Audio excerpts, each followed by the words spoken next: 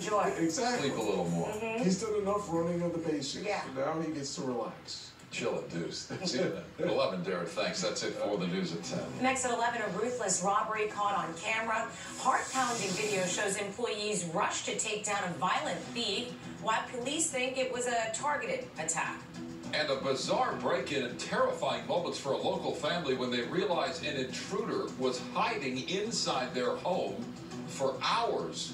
We are live with a story you will see only on 5.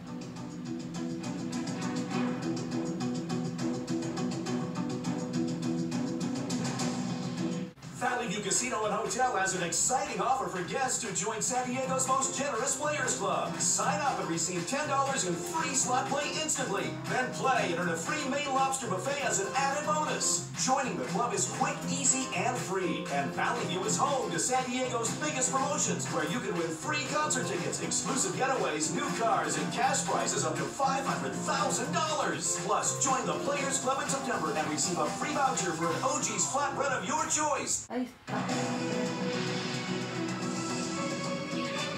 went in, I turned on the light and I could see her reflection in the mirror.